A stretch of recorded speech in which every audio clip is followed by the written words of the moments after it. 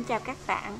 Hôm nay mình xin giới thiệu với các bạn một bãi tắm cách Montreal khoảng một tiếng. Thì cái bãi này tên là Sandy Beach. Ở đây à, phong cảnh ở đây có vẻ hơi hoang sơ, rất là đẹp. Vào những ngày đẹp trời thì có rất là nhiều du thuyền tụ tập ở đây à, Làm phong cảnh trở nên càng đẹp hơn. Và một cái đặc biệt của nơi này nữa là Đến đây các bạn không cần phải trả tiền. À, Các bạn được vào cửa tự do nhưng một cái khó là cái ngay chỗ cái bãi tắm thì không có chỗ đậu xe. Các bạn phải đậu xe cách đó khoảng ờ, 10 đến 15 phút đi bộ vào nha. Nếu như các bạn lái xe theo địa chỉ trên Google thì đây là cổng vào bãi tắm đây nhưng mà ngay chỗ đây thì không có được đậu xe. À, vậy thì các bạn sẽ đậu ở đâu? Thì các bạn có thể đậu xe ở chỗ Community Center của Hudson. Thì ở đây họ cho đậu xe miễn phí đến 3 giờ chiều à, và từ ngay chỗ này là nó kế bên cái đường rầy xe lửa đó.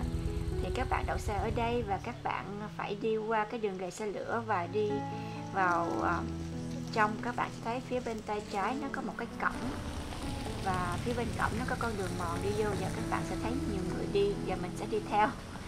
Và các bạn đi hiking ở trong đây có khoảng chừng 10 phút. À, thì các bạn sẽ tới bãi tắm. Thì con đường hiking này nó rất là dễ đi và cũng đẹp nữa các bạn à, các bạn có thấy nhiều con suối và cái đường này có thể um, xe đẩy em bé đi được? Cái thành phố Hudson này nó nhỏ và dễ thương lắm các bạn. Thì um, phía cuối video này mình có quay một chút của cái thành phố này và dọc theo con đường uh, nó cũng không có nhiều nhiều con đường chính nhưng mà dọc theo con đường nó có nhiều tiệm kem quán ăn um, theo uh, ờ, rất là đẹp và dễ thương các bạn.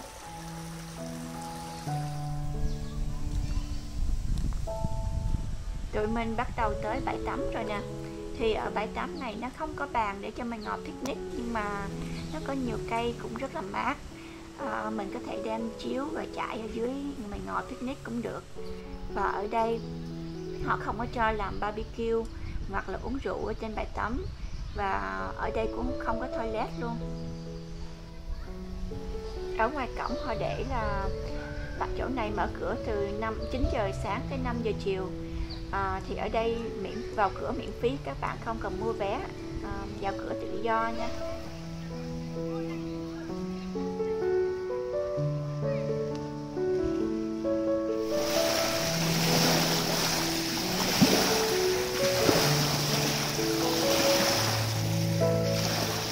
Ở đây có đàn vịt con dễ thương quá nè.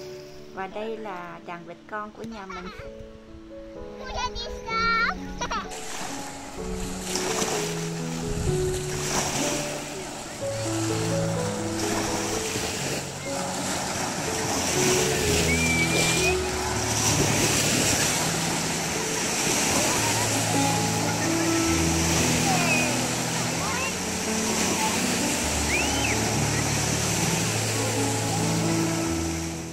Tắm này không có nổi tiếng như những bãi tắm khác và với lại cái chỗ đậu đậu xe cũng hơi khó khăn đó cho nên chắc cũng ít người tới đây. Vì vậy cho nên nó cũng còn ờ, có vẻ hơi hoang sơ. Bãi tắm này rất thích hợp cho các em nhỏ tại vì nó cạn các bạn có thể đi bộ ra rất là xa. À, cũng còn cạn và nước cũng sạch và trong luôn các bạn. Đã mình đang tập cho nó bơi nè các bạn. Ở đây hôm nay ờ, ngày nóng cho nên là xuống đây rất là mát. Nước nó cũng ấm tại vì không phải trời nóng đó. Và cái hồ này cũng đẹp nè các bạn nhìn thấy xa xa đó là mấy cái uh, thuyền á.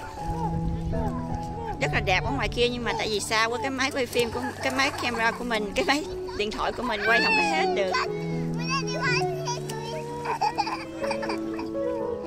Bữa nay là Nami có mua cái cọng bún này là Nami sẽ dùng để tập bơi nè các bạn.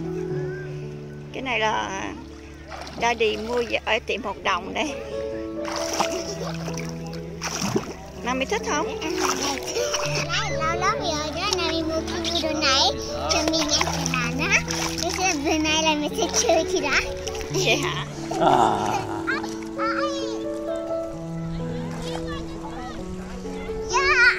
À, bây giờ mình trồng này làm làm sao để để coi đó đúng rồi yeah. xuống đi ăn cho đi đi xuống đi qua mami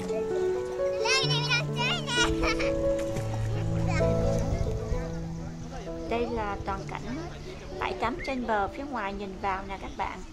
Thì nó cũng dài lắm và mình đi cuối tuần cho nên là cũng đông người nhưng mà cũng còn nhiều chỗ trống lắm.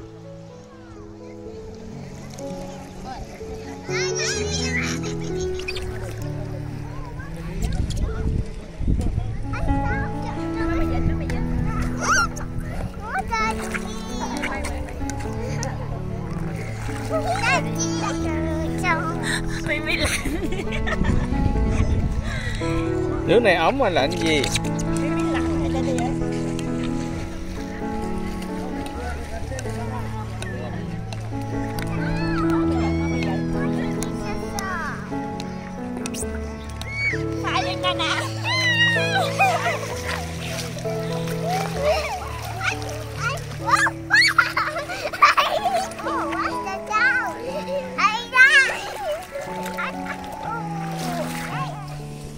Lại cho nó một miếng chip đi con.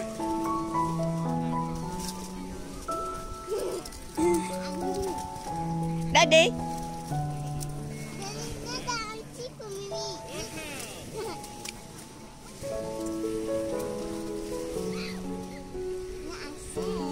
Vậy hả? Cho nó nữa đi.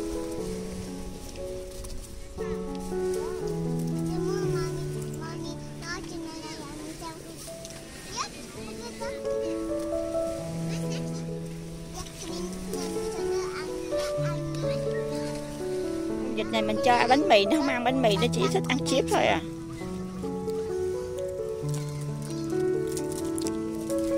Hồi nãy mới đà cho bánh chip bây giờ nó nó lại nó mổ từ cái bụng luôn. Nó kêu cả dòng họ nó tới liều của mình à, kiếm đồ ăn rồi nè các bạn ơi.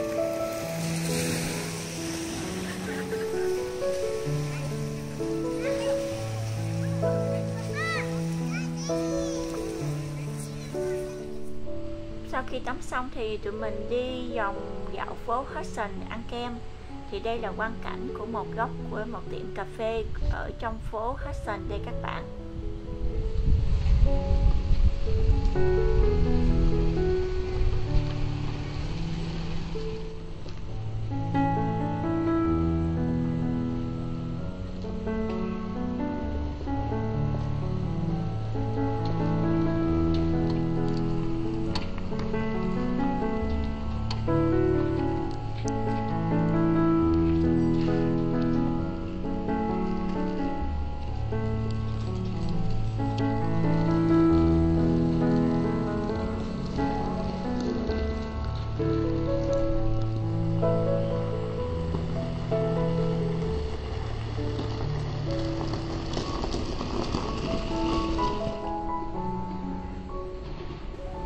nào các bạn đến đây tắm thì các xong nhớ đi dạo phố nha.